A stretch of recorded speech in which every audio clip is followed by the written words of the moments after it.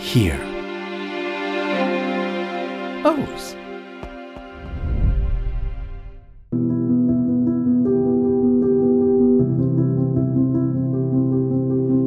I was a military brat, uh, and my father was a colonel in the Marine Corps. My father brought me back a camera from Japan. I think it was a Minolta. And I just uh, loved taking pictures for the high school newspaper or for the, the annual and, and whatever, and just, you know, all the kids in the neighborhood. Then when I was graduating from high school, I was accepted to University of North Carolina, to Duke, all beautiful schools. And then somehow I got accepted into UCLA. Oh, because it had a theater art school, and it had a, a, art school, had a photography school, and a film school. I thought, oh, this is so cool. My father said, I'll, I'll, I'll, give you extra money to go to UCLA, but only if you study business administration. Economics 1A and accounting. I couldn't stay awake in those classes, so quietly I changed my majors to theater arts. He didn't find out about that until my second year at college when my counselor told him. He, he went ape shit, and uh, I thought he was going to just pull me out of college, but he let me stay, and it was wonderful. Yeah, 17 years old. Scared, scared. UCLA is a huge school with 45,000 students there. I came from school with 800 students in it. I was terrified. Sink or swim. But at UCLA, I got to study photography with Robert Heineken, a great, great photographer and a great teacher. I learned a lot. I learned darkroom and I learned about my conceptual, about how to focus my images, uh, how to think about what I was going to shoot. And um, yeah, that was really good. And we had teachers then. Jean Renoir was our teacher for a couple of months at UCLA. And Jimmy Wong Howe, the cameraman, and Haskell Wexler. I'd charge $100 or $125 for headshots. And there were all lots of young actors and musicians there. And A lot of the people became famous television movie, movie actors. And I got things happening, and Ray Bradbury hired me to do a book jacket for him. Then Rod McKuen saw Ray's Bradbury's, said hired me to do his book jacket. So it snowballed, snowballed, and kept getting bigger and bigger. And some of the uh, great PR people in Hollywood at that time loved my work and I was pretty cheap, and it was really cute. so that didn't hurt. The second year of school at UCLA, a young acting student who was very pleasant looking and very nice, and invited me to go down to Malibu and, and stay with him at uh, his uh, apartment. Uh-oh, I know what this means. And I was so ready. I was so ready. It was wonderful. It was great. Yeah. And of course, I met John on my fourth year. I was close to graduating from UCLA. And uh, how did I meet John Schlesinger? Well, I was sent on a blind date to go to the Beverly Wilshire Hotel by a TV actress, Broadway actress called Kaye Ballard, who's a friend of John's. Said, would you, John's lonely, wants to be a friend to show him around LA, he doesn't know anyone. Can you do it? Yeah. I said, yeah, yeah, I'd love to. I love his movies. And um, and that afternoon, I read in Time Magazine an article, an interview with him, said it's often mercurial and difficult. And I thought, oh shit, he's going to be a nightmare. so I called up a friend of mine, an actor friend. Can you go with me to the Beverly Wilshire Hotel? One kick under the table means we're both going to get out of here. Two kicks mean you get out of here. And it was two kicks. I, he was so sweet, bright, brilliant, charming, funny uh, and just uh, dear, dear to my heart. And it's, yeah, that's, I knew, you know, we had th three more dates after that, and I just felt, oh my God, there's something happening here in my heart, in my heart. Would you like to come to work on a movie, uh, Midnight Cowboy? I'm going to start in uh, four, four or five months in New York. I said, oh God, should I graduate or should I go work on Midnight Cowboy? Well, yes, work on Midnight Cowboy. Of course, I didn't know it was going to win four Oscars and uh, make a $100 million and change my life. And, and it was really an important movie. The winner is John Schlesinger. It was pr pretty out there, X-rated film, the only X-rated film to win the Oscar. It was a breakthrough film, and so was Sunday Bloody Sunday about a year and a half later, and it was probably the most important gay film to be done, a, a, real breakthrough film at that time.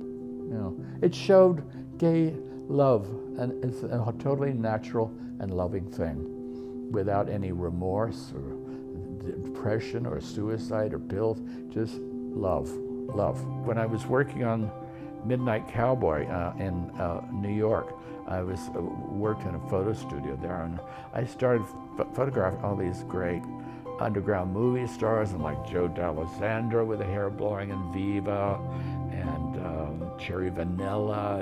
It wasn't quite a gay magazine, but it wasn't that straight, you know. And if your mother found it underneath your bed, you, you wouldn't get in trouble because it had pictures of ballet and ballet and Broadway shows, and you know Bernadette Peters and Patti LuPone, and who all, those are the ones I photographed for After Dark. And everybody in the business saw After Dark, including Andy Warhol, who loved my pictures because I made everyone look really glamorous and beautiful. And he asked me to come work for interview. So I asked Andy, I said, what sort of pictures do you want? And he says, I love beautiful people and I love rich people. And if you if you could find them beautiful and rich, I'll give you more pages. You know, uh, just okay, I'll work on that. I said, "Are you going to pay?" Oh, that's, that was a bad thing to ask. He looked totally insulted by that. He was very cheap, Andy, very cheap. But that's okay. Everyone in the world saw Andy Warhol's interview magazine. It really helped my career a lot. And also got me in the VIP door at Studio 54 once or twice a week. That's a whole other story. I learned more working on that movie in nine months it took to film, seven months, and the editing uh, than I did like five years at UCLA, with all due respect to UCLA. If I hadn't gone to UCLA, I don't know if I'd had this extraordinary 52 year career. Um, it was really important to me to be there at that time. The closeted 60s, you know, it was difficult. I mean, things were cooking. The, fashion, the music, rock, LSD, uh, you know, uh, Bob Dylan, the Beatles, it, things were changing quickly then. But it still, Hollywood was in the closet, really in the closet, that first year. He wanted me to go with him to these great star parties or the premieres and everything. And Hollywood was not out then, you know, and I was pretty young. John was, oh, he was really old. He was 42. I was the one who was uptight. Can you imagine? that he was very proud of our relationship. And he insisted that if we were going to Natalie Wood's A party or Rosalind Russell, who scared the hell out of me, or Betsy Bloomingdale, or Edie Goetz, or you know all these famous people would go to their parties, and uh, that that we went together. Most of the famous gay icons, uh, that, of course they weren't gay, most of the famous gays who were in Hollywood, Ross Hunter and everything, would go out to these grand parties. They always had a beard, a woman with them. They would never take their lover. Never, never. So, I mean, that's why the magazines later, think Out Magazine and Vanity Fair, I said John and I were Hollywood's first out couple. I wish marriage equality had come sooner because when John had a, a stroke in 2000, we were we wanted to get married, but it wasn't allowed then. We were registered in the West Hollywood office, but it wasn't really official, you know, as a as a domestic couple. So we were looking forward to it. We knew it was on the cusp. It made my life a lot easier. Fairly catastrophic, uh, because the lawyers and the bankers and the Directors Guild said, "Who are you?" I said, well, we've been partners for 37 years, but it doesn't mean anything. You're not legal, you know. You have no rights. It was a nightmare. I had to be on the phone with lawyers and trustees and people for three years, you know, to prove that I was the, the partner.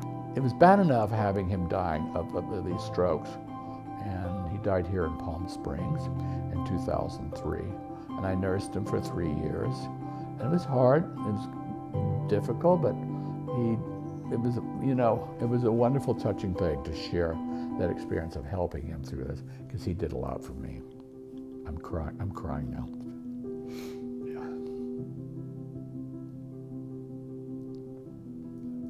John and I were together 37 years. I mean, uh, so I mean, in a way, we didn't need a piece of paper to prove that. But I think it's a great thing, a great thing.